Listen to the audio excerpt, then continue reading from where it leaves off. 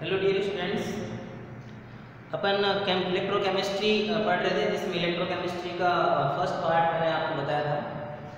आज अपन second part की बात करेंगे। सेकंड पार्ट में मैंने आपको बता रहा था कि भाई अपन स्टडी करेंगे difference between the electronic conductance and electrolytic conductance okay तो फ़र्स्ट है आपकी इलेक्ट्रॉनिक कंडक्टेंस और इलेक्ट्रोलाइटिक कंडक्टेंस विद्युत अपघटनी चालकता और इलेक्ट्रॉनिक चालकता। विद्युत अपघटनी चालकता और इलेक्ट्रॉनिक चालकता। कॉन्सेप्ट्स को ध्यान रखो कि कॉन्सेप्ट्स क्या बोलते हैं। इलेक्ट्रॉनिक चालकता का मतलब क्या हो गया? नंबर वन इलेक्ट्रॉन के कारण। इलेक्ट्रॉन के कारण जो कंडक्टेंस डेवलप होती है, उसको अपन क्या बोल देते हैं? इलेक्ट्रॉनिक चालकता दूसरा मेटल्स में इलेक्ट्रॉन्स के कारण डेवलप हो रही है। इसका मतलब कोई भी केमिकल चेंजेस नहीं होंगे। नॉट ए केमिकल चेंजेस कोई भी केमिकल चेंजेस नहीं होंगे। केमिकल चेंजेस नहीं होंगे। And no change in the, no change in the mass of mass of electron और मटेरियल जो भी अपन मटेरियल यूज़ ले रहे हैं इलेक्ट्रॉन्स के अंदर, उसके मास में कोई चेंज नहीं होगी इलेक्ट्रॉन्स के कारण आ रही है ना? इलेक्ट्रॉन्स के कारण कंडक्टिविटी आ रही है। ना कि इलेक्ट्रोलाइट्स के कारण कंडक्टिविटी तो इलेक्ट्रॉन्स के कारण कंडक्टिविटी आने से उसके मास में कोई भी चेंजेस नहीं होता है। ओके बेटा। ठीक है? एंड फोर जब टेम्परेचर इंक्रीज होता है तो कंडक्टेंस डिक्रीज होती है। व्हाई ऐसा क्यों? जैसे मेटल्स हैं अपन सिंपल चालकता देखते हैं। तो चालकता के अंदर क्या होता है? कि टेम्परेचर को बढ़ाते हैं तो कंडक्टेंस घटती है मेटल्स के अंदर। तो आपको ये सोचना ऐसा क्यों? ये आपके लिए क्या है? होमवर्क बात करते हैं इलेक्ट्रोलाइटिक कंडक्टेंस तो बहुत सिंपल सी बात इलेक्ट्रोलाइटिक कंडक्टेंस किससे कारण होती है? Number of number of ions ions कैसे? मोबाइल आयन होने चाहिए। मोबाइल गतिशील आयन अब गतिशील आयन कब होंगे? जब या तो वो इलेक्ट्रोलाइट फ्यूज स्टेज में होगा, या तो किसमें होगा? फ्यूज स्टेज में। या फिर वो किसमें होगा एक्वस कंडीशन एक्वस कंडीशन मतलब विलयशील अवस्था ध्यान रखना, कोई भी ठोस इलेक्ट्रोलाइट कभी भी इलेक्ट्रिकल कंडक्टिविटी को शो नहीं करता, क्योंकि लैटिस की पैकिंग स्ट्रॉन्ग होती तो इस आपके मोबाइल आयन कहाँ से मिलेंगे? पॉसिबल नहीं, कभी नहीं मिलेंगे। बात करते हैं सेकंड केमिकल चेंजेस होंगे? यस केमिकल चेंजेस होंगे? यस पूछेंगे क्यों? क्योंकि सर इलेक्ट्रोलाइट क्या होता डिसोसिएशन होता है। तो डिसोसिएशन होगा तो केमिकल चेंजेस होंगे, जैसे NaCl NaCl का डिसोसिएशन होता है Na+ और Cl- फ्यूज्ड अवस्था में आ गया तो अब बताओ इसकी प्रॉपर्टी और इसकी प्रॉपर्टी सेम है क्या पॉसिबल ही नहीं है नमक को गला दो और आयनों में तोड़ दो नमक रहेगा क्या कभी नहीं रहेगा नमक नमक नहीं रहेगा चेंज हो जाएगा बात करते हैं तीसरी change in the mass change in the mass of electron क्या सर इलेक्ट्रॉन के मास में चेंज होगा यस क्यों चेंज होगा? क्यों? देखो कैथोड पर क्या होता है? बताओ। रिडक्शन एनोड पर क्या होता है? ऑक्सीडेशन जब ऑक्सीडेशन और रिडक्शन होता है तो वहाँ पर क्या होता है? डिसोसिएशन और डिपोजिशन मतलब एनोड पर क्या होगा? ऑक्सीडेशन होगा तो ऑक्सीडेशन होगा तो मेटल का क्या होगा? शरण होगा, हानि होगी, है ना? लॉस होगा। लॉस होने की वजह से वो मेटल क्या हो जाएगी? पतली हो जाएगी। इलेक्ट्रोड क्या हो जाएगा? पतला हो जाएगा। तो मास में चेंज हुआ नहीं होगा और जब कैथोड पर रिडक्शन हुआ तो रिडक्शन हुआ तो आयन क्या हुए? रिड्यूस हुए। रिड्यूस होकर वो क्या होगा? इलेक्ट्रोड पर आके चिपकेंगे। चिपकेंगे तो मेटल क्या हो जाएगी? बड़ी हो जाएगी। ओके तो मास में चेंज होने होना है बात करते हैं टेम्परेचर की। तो इसमें टेम्परेचर बढ़ता तो कंडक्टेंस बढ़ती है। दिमाग में क्वेश्चन डेवलप हुआ, क्यों सर? तो टेम्परेचर बढ़ेगा तो काइनेटिक एनर्जी मिलेगी। काइनेटिक एनर्जी मिलेगी तो इलेक्ट्रॉन्स को दौड़ने के लिए क्या होगा? एनर्जी मिलेगी। जैसे आपने क्या क्या? बूस्ट अप डोज ले लिया। प्रोटीन का बूस्ट अप डोज लिया। तो प्रोटीन का बूस्ट अप डोज लिया तो क्या होगा? आप दौड़ोगे नहीं दौड़ोगे? या फिर आपके डंडे मारे जाए तो डंडे मारे जाए तो आपको क्या होगा? काइनेटिक एनर्जी मिलेगी काइनेटिक एनर्जी मिलेगी तो आपकी मोबिलिटी बढ़ जाएगी। सिंपल सी बात है तो जो टेम्परेचर होता है तो वो आयंस की काइनेटिक एनर्जी को बढ़ाता है, इसलिए कंडक्टेंस को बढ़ा देता है। ओके ठीक है। नेक्स्ट अपन बात करते हैं इलेक्ट्रोकेमिकल सेल इलेक्ट्रोकेमिकल सेल बहुत ही इंपॉर्टेंट है इलेक्ट्रोकेमिकल सेल के एग्जांपल आप देख सकते हो गैलोनिक सेल है बहुत इंपॉर्टेंट एग्जांपल सेल है। काफ़ी इंपॉर्टेंट एग्ज़ाम्पल है। इलेक्ट्रोकेमिकल सेल में होता है क्या है सर इलेक्ट्रोकेमिकल सेल में केमिकल चेंजेस होते हैं और केमिकल चेंजेस से इलेक्ट्रिकल एनर्जी का प्रोडक्शन होता है। Okay electrochemical cell electro वैद्युत रासायनिक cell example galvanic cell Daniell cell Daniell cell और डेनियल सेल बहुत सिंपल सा कॉन्सेप्ट ध्यान रखो। होगा क्या? केमिकल चेंजेस होंगे। मतलब इट मींस केमिकल रिएक्शन होगी। और केमिकल रिएक्शन से क्या मिलेगी आपको? इलेक्ट्रिकल एनर्जी मिलेगी। अब देखो दिमाग लगाओ जब केमिकल चेंजेस हुए तो इसमें क्या हुआ? ऑक्सीडेशन हुआ। यस रिडक्शन भी हुआ। यस जब ऑक्सीडेशन और रिडक्शन होता है तो दोनों को मिलाकर अपन क्या बोलते हैं? रेडॉक्स इसका मतलब इलेक्ट्रोकेमिकल सेल में रेडॉक्स रिएक्शंस होते हैं। अब क्वेश्चन दिमाग में डेवलप होता है कि रेडॉक्स रिएक्शन डायरेक्ट होते हैं कि इनडायरेक्ट होते हैं? देखो डायरेक्ट रेडॉक्स रिएक्शन का क्या मतलब होता है? जब एक ही पॉट के अंदर ऑक्सीडेशन रिडक्शन हो जाते हैं तो अपन उनको डायरेक्ट रिडक्शन बोल देते हैं। और जब सेल के अंदर दो अलग अलग पॉट ले लिए जाए मतलब कैथोड और एनोड को दो अलग अलग इलेक्ट्रोड्स को अलग अलग पॉट में डालें तो वहाँ पर ऑक्सीडेशन और रिडक्शन अलग अलग होगा। तो यहाँ पर होने वाला जो रिडक्स होता है वो रिडॉक्स रिएक्शन अप्रत्यक्ष होता है। ठीक है ना? तो इसमें अप्रत्यक्ष रिडॉक्स रिएक्शन होती है। बराबर? कुछ बच्चों को ये पता ही नहीं होता रिडॉक्स रिएक्शन किसे कहते हैं। एक छोटा सा क्वेश्चन है आपके लिए, घर पे जाके सोचना कि विस्मानुपातन अभिक्रिया और रिडॉक्स अभिक्रियाओं में क्या अंतर होता है?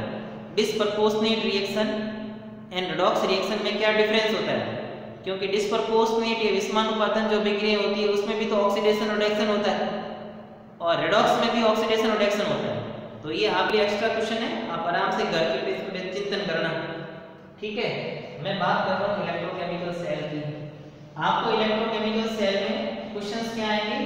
एक तो इलेक्ट्रोड पोटेंशियल के क्वेश्चंस आएँगे, जो न्यूमेरिकल क्वेश्चंस आते हैं नीट में इलेक्ट्रोड पोटेंशियल के क्वेश्चन आते हैं। और जो बोर्ड का जो एग्ज़ाम होता है, उसमें इलेक्ट्रोकेमिकल सेल का स्ट्रक्चर आता है। और उसमें होने वाले चेंजेस पूछते हैं, या फिर उसमें उपस्थित लवण सेतु के कार्य पूछते हैं। तो सबसे पहले अपन देख लेते हैं इलेक्ट्रोकेमिकल सेल है क्या चीज़। ये दो पॉट है। इन दो पॉट में दो इलेक्ट्रोड लगा देते हैं और दोनों के अंदर इलेक्ट्रोलाइट डाल देते हैं। ओके? ये मैंने इसमें इलेक्ट्रोलाइट डाल दी। और इनको मैंने एक मेटल के वायर से इनको इलेक्ट्रोड्स को जोड़ दिया और ये वोल्ट मीटर लगा दिया। ठीक है भैया? और इन दोनों बोर्ड को मैंने एक यू आकार के ट्यूब से जोड़ दिया और यह इसमें कॉटन गोस डाल दिया और इसके अंदर स्ट्रॉन्ग इलेक्ट्रोलाइट भर दिया। इसको अपन बोलते हैं सॉल्ट ब्रिज इसके भी काम है, बताऊँगा क्या काम है सॉल्ट ब्रिज लवण सेतु। लवण सेतु में सामान्य स्ट्रॉन्ग इलेक्ट्रोलाइट पोटेशियम क्लोराइड या पोटेशियम नाइट्रेट में भरा जाता है। ये बना हुआ किसका होता है? एगार एगार जेल एगार एगार जेल अब देखो, दिमाग लगाना है आपको क्वेश्चंस के अंदर? और क्वेश्चंस कहाँ से पुट वो भी सोचना है। ये वाला पार्ट है वो लेफ़्ट पार्ट है और ये वाला पार्ट है वो राइट सेल है। इसलिए इसको बोल देते राइट हाफ़ सेल और इसको बोल देते लेफ़्ट हाफ़ सेल बायां आधा सेल, दाया अर्ध से ये जिंक का इलेक्ट्रोड है और इसके अंदर जिंक सल्फेट का इलेक्ट्रोलाइट डाला हुआ है। और ये कॉपर का इलेक्ट्रोड है और इसमें कॉपर सल्फेट इलेक्ट्रोलाइट डाला हुआ है। कौन सा इलेक्ट्रोलाइट डाला हुआ है? Copper sulphate CuSO4 copper sulphate का इलेक्ट्रोलाइट डाला हुआ है। बहुत इंपॉर्टेंट चीज़ें हैं।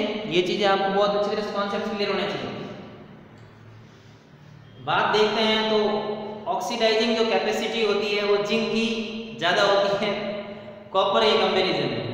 ये अपन रिडक्शन पोटेंशियल के बेस पर फाइंड आउट करते हैं हाइड्रेशन एनर्जी वगैरह। उसके बेस पर अपन प्रैक्टिकली ईसीएस इलेक्ट्रोकेमिकल सीरीज़ के ऊपर देखते हैं। तो जो ऑक्सीडाइजिंग जो कैपेसिटी होती है, वो जिंक की ज़्यादा होती है। इस अर्थ सेल के अंदर जिंक के ऊपर जो इलेक्ट्रॉड है, जो जिंक सॉलिड मेटल है, वो ऑक्सीडाइज होकर किस इसका मतलब ये zinc rod convert into the Zn plus 2 तो यहाँ से जो इलेक्ट्रॉन क्या के जाएँगे, वो इलेक्ट्रॉन इस इलेक्ट्रोड से होते हुए कहाँ चले जाएँगे? इस कॉपर मेटल की रॉड पर चले जाएँगे। और कॉपर मेटल की रॉड पर आकर यहाँ आएँगे सॉल्यूशन में आएँगे। तो सॉल्यूशन आने पर सॉल्यूशन में जो प्रेजेंट Cu2 है, उस Cu2 को Cu सॉलिड में कन्वर्ट कर देंगे। क्योंकि यहाँ पर इसका क्या होगा बेटा? रिडक्शन होगा अपचयन क्या होगा? अपचयन। जहाँ पर अपचयन होता है, उसको अपन क्या बोलते हैं? कैथोड। इसलिए इसको क्या बोल दिया आपने? कैथोड बोल दिया। और यहाँ पर देखो, जिंक का क्या हो रहा है? ऑक्सीडेशन हो रहा है। और जिसका ऑक्सीडेशन हो गया, उसको आपने क्या बोल दिया? एनोड। क्या बोल दिया? एनोड। अब आपको याद रखने का अच्छा तरीका बता देता हूँ। अ अ। ठीक है ना? ए का मतलब हो गया एनोड और ए का मतलब हो गया ऑक्सीकरण। जहाँ पर एनोड होगा, वहाँ पर ऑक्सीकरण होगा। अब दिमाग लगाना देखो। यहाँ पर इसने क्या किया? मेटल के इलेक्ट्रॉन को रिमूव किया। इलेक्ट्रॉन को रिमूव किया इलेक्ट्रॉन को निकाला तो इलेक्ट्रॉन की संख्या बढ़ गई। किसके ऊपर बढ़ गई? एनोड के ऊपर बढ़ गई। और एनोड के ऊपर बढ़ने के कारण ये एनोड क्या हो गया? नेगेटिव हो गया। और यहाँ पर इलेक्ट्रॉन क्या होगी? कमी तो ये क्या हो गया? पॉजिटिव ध्यान रखना इलेक्ट्रोकेमिकल सेल में इलेक्ट्रोकेमिकल सेल में एनोड होता है, वो नेगेटिव होता है, और कैथोड होता है, वो पॉजिटिव होता है। इस चीज़ का ध्यान रखना, गलती मत कर देना। ठीक है ना? क्योंकि हमेशा गलतियाँ हो जाती हैं एनोड किसका होता है? बताओ नेगेटिव कैथोड किसका होता है? पॉजिटिव यहाँ पर क्या होगा? ऑक्सीडेशन अब देखो, यहाँ पर इसका ऑक्सीडेशन हुआ तो ये मेटल क्या हो जाएगी? क्षरण होगा। और मेटल का क्षरण होने से ये क्या हो जाएगी? मेटल थिन हो जाएगी। क्या हो जाएगी? थिन पतली हो जाएगी। जबकि यहाँ से Cu+2 के आयन कहाँ गए इसके ऊपर गए तो ये प्लेट क्या होगी? मोटी होगी थिक होगी। क्या होगी? ठीक होगी। और इसमें इलेक्ट्रिकल कंडक्टेंस मतलब धारा का क्या हो गया? प्रवाह हो गया। और आपको इलेक्ट्रिकल एनर्जी प्रोवाइड होगी क्वेश्चन डेवलप हुआ कैसे? लवण सेतु का क्या कार्य? लवण सेतु दोनों सॉल्यूशन को जोड़ने का कार्य करता है। जोड़ने का कार्य करेगा तो आपस में आयनों के अभिगमन को भी क्या कर देगा? रोक देगा। और परस्पर साम्य स्थापित करने की क्या करेगा? कोशिश करेगा इक्विलिब्रियम स्टेबल करने की कोशिश करेगा।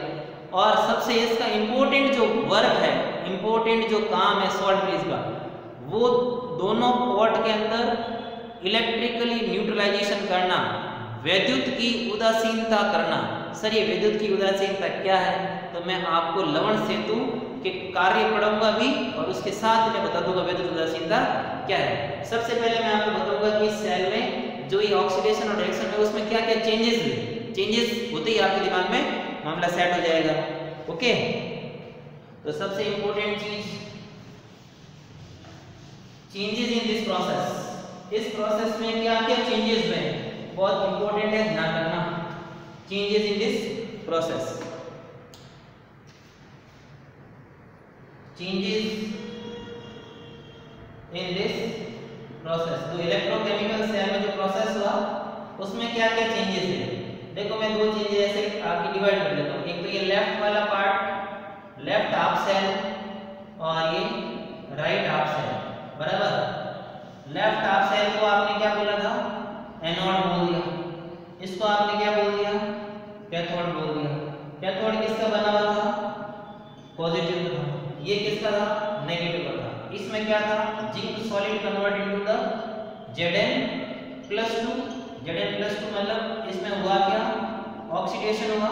नो डाउट हुआ नहीं हुआ? और ये सॉलिड से किसमें चला गया? इसमें। तीसरी बात ऑक्सीडेशन हुआ। तो इलेक्ट्रॉन इलेक्ट्रॉन क्या हुआ? पतला हुआ। पतला मतलब क्या हो गया? थिन हो गया। बातों को समझना, बातों को रटना नहीं बातें रटी हुई मतलब कभी भी आपके क्वेश्चन सही नहीं करवाएँगे, हमेशा ध्यान रखना। अब देखो, ये इसमें जा रहा है, इसका मतलब Zn प्लस टू की कंसेंट्रेशन क्या हुई? बढ़ी। Zn प्लस टू की कंसेंट्रेशन बढ़ी। मैंने क्या बोला? Zn प्लस टू की कंसेंट्रेशन बढ़ी। पर इलेक्ट्रोड है, उसका तो क्या हुआ? क्या हुआ? शरण हुआ शरण शरण घट गया, पतला हो गया। हुआ नहीं हुआ। इसमें कोई भी प्रॉब्लम नहीं आनी चाहिए। मेरे हिसाब से आपके कोई भी प्रॉब्लम नहीं आएगी। हमेशा ध्यान रखना इलेक्ट्रोकेमिकल सेल में जब ये प्रोसेस होते हैं, इसमें कोई हीट का प्रोडक्शन नहीं होता है। ठीक है ना? इलेक्ट्रिकल एनर्जी मिलती है, वो इलेक्ट्रॉन की मूवमेंट के कारण मिलती है। कोई हीट प्रोडक्शन नहीं होते हैं। ठीक है ना? इस चीज़ का ध्यान रखना। ठीक है? अब मैं बात करता हूँ राइट हाफ़ सेल की। राइट हाफ़ सेल में क्या होता है? जो कॉपर प्लस टू होता है, जो इलेक्ट्रॉन इसने जो रिमूव किए थे, वो इलेक्ट्रॉन ये कॉपर जो सॉल्यूशन होता है ना CuSO4 इलेक्ट्रोलाइट उसके अंदर बेटा क्या होता है? Cu+2 आयन होते हैं। तो ये एक्वस वाले आयन क्या करेंगे? इलेक्ट्रॉन गेन करके सॉलिड में चले जाएँगे। इसका मतलब इसमें क्या होगा बोलो? रिडक्शन होगा और तो क्या होगा? होगा रिडक्शन और इसमें जो इलेक्ट्रोड होगा, बताओ वो क्या होगा? आपको बताओ। इलेक्ट्रोड ठीक होगा कि नहीं होगा? ठीक होगा। ठीक क्यों हुआ? क्योंकि कॉपर प्लेट के ऊपर कॉपर वाला आयन आकर डिपॉजिट हो गए अब मेरे को बात बताओ। Cu T का कंसंट्रेशन बढ़ा घटा घटा। देखो क्यों? क्योंकि Cu टू किसमें कन्वर्ट हुए? Cu सॉलिड में कन्वर्ट तो ये इस सेल के अंदर क्या में चेंजेस हुए। अब कभी कभी आपके यहाँ पर इसमें फेराडे के साथ कंपैरिजन करवा लेते हैं। फेराडे रूल आपने पढ़ा होगा। जो डिपोजिशन मास होता है वो इक्विवेलेंट वेट के डायरेक्टली प्रोपोर्शनल होता है। तो यहाँ पर एक छोटा सा न्यूमेरिकल क्वेश्चन भी बन जाता है। आपको सेल बना कर देते हैं और सेल के अंदर इलेक्ट्रोड्स के ऊपर आपको डिपोजिशन मास पूछ लेते हैं। तो डिपोजिशन मास होगा, वो किसके इक्विवेलेंट होगा? इक्विवेलेंट वेट के इक्वल होगा। अब ये इक्विवेलेंट वेट क्या होता है यहाँ की बात? बच्चों को पता ही नहीं होता अणु भार अपॉन फैक्टर या वैलेंस फैक्टर एन फैक्टर ये एन फैक्टर मैंने आपको पहले पढ़ा दिया। कहाँ पर पढ़ा है? सॉल्यूशन वाले चैप्टर में एन फैक्टर मैंने पढ़ाया था, जहाँ पर मोलरिटी और ये पढ़ाया था। फिर भी मैं आपको बता देता हूँ एन फैक्टर क्या होता है? एन फैक्टर क्या होता है? Transfer of electron in the oxidation and reduction मतलब ऑक्सीडेशन और रिडक्शन में कितने इलेक्ट्रॉन ट्रांसफ़र हुए, वो है एन फैक्टर या फिर बेसिसिटी और एंड एसिडिटी मतलब बेस अम्ल और क्षार का क्षारकता और अम्लता क्या है, वही एन फैक्टर है ओके इसमें कोई डाउट नहीं आना चाहिए। फिर अपन बात करते हैं सॉल्ट ब्रिज की work of salt bridge salt bridge का वर्क क्या है? बहुत इंपॉर्टेंट है। इस वीडियो को आप बार बार देखें, ज़रूर देखें, क्योंकि इसमें बहुत सारे छोटे छोटे कॉन्सेप्ट्स हैं, वो आपके काम आएँगे। ठीक है ना? Number one work of the ये function of the function of the salt bridge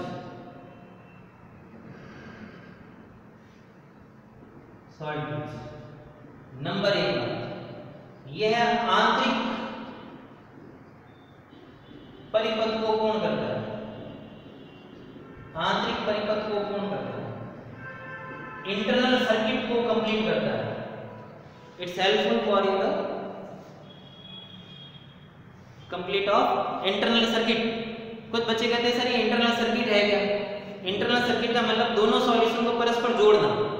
दोनों जो हाफ़ सेल है, उन दोनों हाफ़ सेल को आपस में जोड़ना। ठीक है ना? हाफ़ सेल हाफ़ सेल को जोड़ना।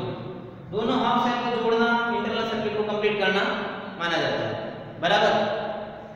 दूसरी बात, दोनों जो हाफ़ सेल थे उनके इलेक्ट्रोलाइट को परस्पर एक दूसरे में जाने से रोक है ना? इलेक्ट्रोलाइट के ट्रांसफ़र को ट्रांसफ़र को रोकना। ठीक है? जो दोनों हाफ़ सेल थे एक हाफ़ सेल ले एक हाफ़ सेल यहाँ सॉल्ट ब्रिज लगा दिया तो सर आप कहोगे सर सॉल्ट ने तो ट्रांसफ़र नहीं किया सॉल्ट ट्रांसफ़र नहीं करता यहाँ तो बोझ लगा होता है। तो इन दोनों को सेप तो ये तो पहले सेपरेट देना ये इलेक्ट्रिकल मूवमेंट हुआ ना, ठीक है ना? उस वजह से इनको मूवमेंट को रोक देता है ओके इसमें मेरे हिसाब से कोई डाउट नहीं होना चाहिए। तीसरा इसका जो काम है, विद्युत उदासीनता इलेक्ट्रिकल न्यूट्रलिटी को बनाए रखना। ये बात कुछ समझ में नहीं आती। सर, ये व्हाट इज़ इलेक्ट्रिकल न्यूट्रलिटी देखो, दिमाग में जैसे ये सेल था है ना? ये सेल है। ये कौन है? सॉल्ट ब्रिज है नहीं है? सॉल्ट ब्रिज में क्या था बताओ? केसीएल था। KCl किसमें होता K प्लस और Cl माइनस देखो दिमाग लगाना। अब जैसे ये इलेक्ट्रॉन है। हाँ इलेक्ट्रॉन यहाँ पर क्या हुआ? इसका ऑक्सीडेशन किसमें गया? Zn से Zn प्लस टू में गया। तब ये Zn से Zn प्लस टू में जाएगा तो बताओ, जिंक की सांद्रता में वृद्धि हुई नहीं तो यहाँ पर टोटल ही जिंक आ जाएगा Zn plus two Zn plus two आ जाएगा। तो फिर नेक्स्ट प्रोसेस तो रुक जाएगा ना। भाई, जिंक प्लस टू की कंसंट्रेशन ज़्यादा होगी तो प्रोसेस तो रुक गया। रुक गया तो फिर आगे इलेक्ट्रोकेमिकल चेंजेस कैसे होंगे? सेम वैसे ऐसे था जैसे मान लो कि ये Cu प्लस टू था मतलब कॉपर सल्फेट ठीक है सर तो कॉपर सल्फेट में कॉपर में चला गया ना ज़्यादा तो पीछे सांद्रता किसकी ज़्यादा बदली? सल्फेट की सांद्रता ज़्यादा बदली। तो सल्फेट ही सल्फेट हो जाएगा। इसका मतलब यहाँ पर नेगेटिव नेगेटिव आयन हो जाएँगे। तो फिर यहाँ तो इक्विलिब्रियम कंडीशन आ जाएगी लास्ट में तो इलेक्ट्रोकेमिकल सेल रुक जाएगा। आयंस बहुत ज़्यादा हो जाएँगे ऑपोजिट आयंस तो क्या किया जाता है? जो ये प्लस आयन है, वो प्लस आयन को क्या करता है? इस वाले नेगेटिव आयन को न्यूट्रलाइज करता है और ये Cl माइनस होता है, वो इस आयन को क्या करता है? न्यूट्रलाइज करता है। तो न्यूट्रलाइजेशन करेगा तो प्रोसेस कंटिन्यू आगे चलता रहेगा। ये मेन फ़ंक्शन है किसका? किसका? सॉल्ट बेस का। ओके नेक्स्ट अपन बात करते हैं। इलेक्ट्रिक पोटेंशियल इलेक्ट्रिक पोटेंशियल से बहुत अच्छे अच्छे क्वेश्चन बनते हैं। इलेक्ट्रिक पोटेंशियल या आप कह सकते हो इलेक्ट्रोड पोटेंशियल काफ़ी अच्छे क्वेश्चन पुटअप होते हैं। Electrode potential and cell equation and cell equation मैं आपको दोनों ही एक साथ बता देता हूँ। सेल इक्वेशन सेल समीकरण।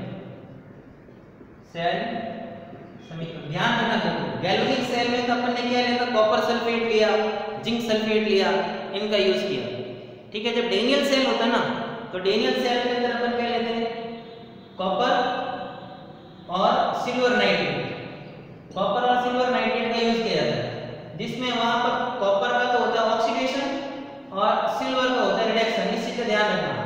किसके अंदर?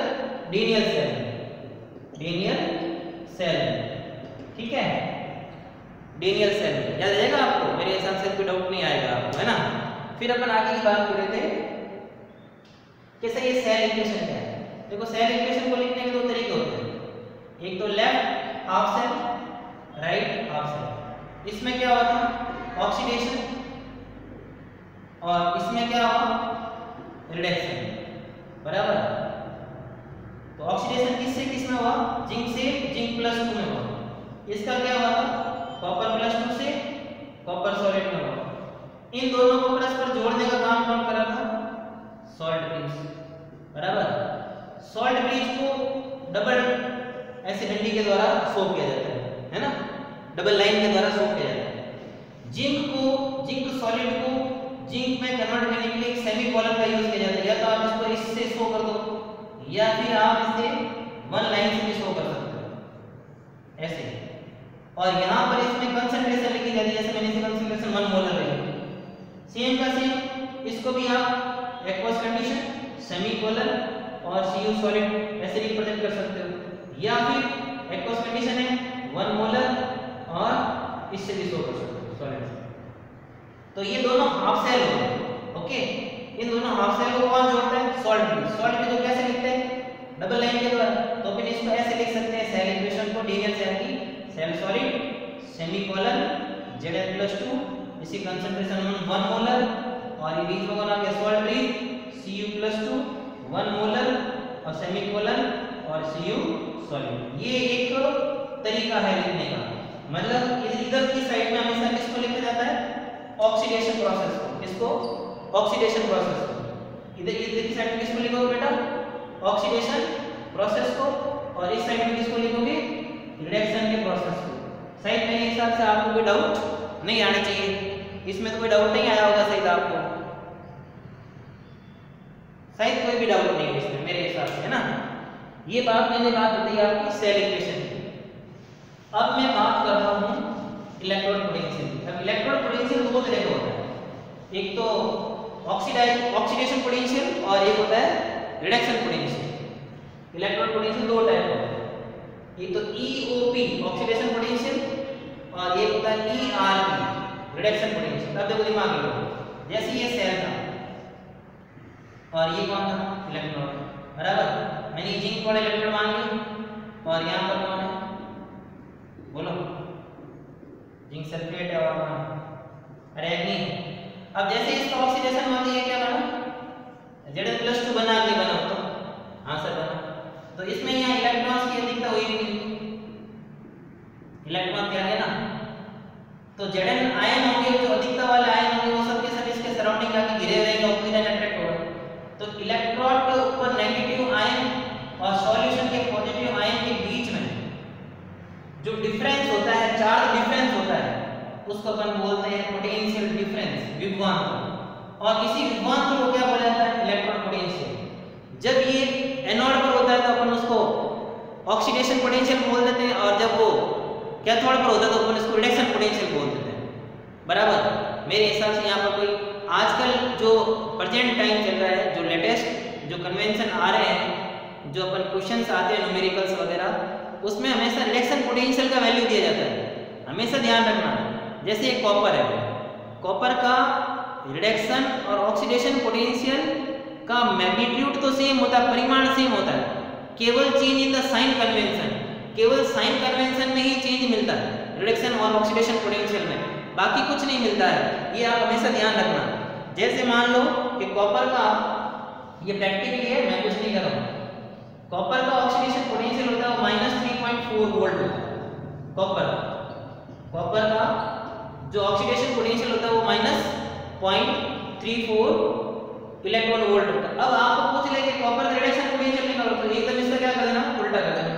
Plus point three four volt but अभी जो लेटेस्ट जो कन्वेंशन चल रहे हैं लेटेस्ट कन्वेंशन या जो लेटेस्ट जो इलेक्ट्रोकेमिकल सीरीज़ आ रही है इलेक्ट्रोड पोटेंशियल आ रहे हैं, वो हमेशा रिडक्शन पोटेंशियल के ही दिए जाते हैं। फिर अपन क्या करते हैं, उसको उल्टा करके ऑक्सीडेशन पोटेंशियल निकाल लेते हैं और इसके बेस पर अपन आगे इलेक्ट्रोड पोटेंशियल फाइंड करना सीखेंगे। कल अपन कंटिन्यू करेंगे स्टैंडर्ड इलेक्ट्रोड पोटेंशियल और इलेक्ट्रोकेमिकल सीरीज़ ओके बेटा? शायद ये वीडियो आपको मेरे हिसाब से अच्छा लगा होगा और यदि आपको ऐसे कॉन्सेप्ट अच्छे लगते हैं तो आप अपने स्टूडेंट्स या अपने फ्रेंड्स है ना? स्टूडेंट्स मतलब कुछ ऐसे मेरे ओल्ड स्टूडेंट हैं जो आजकल पढ़ाने भी शुरू हो गए। उनको भी क्या करो? शेयर करो। ओके बेटा? Thank you